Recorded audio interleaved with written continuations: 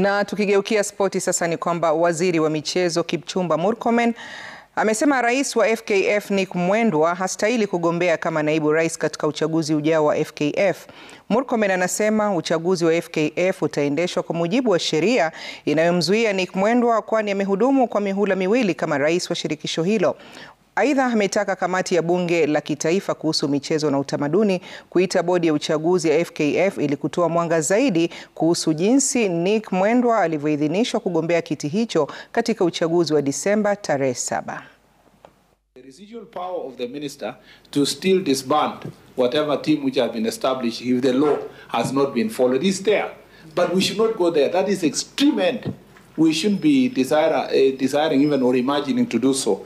I request that we work together to find uh, uh, proper mechanisms of ensuring that uh, we have free and fair elections.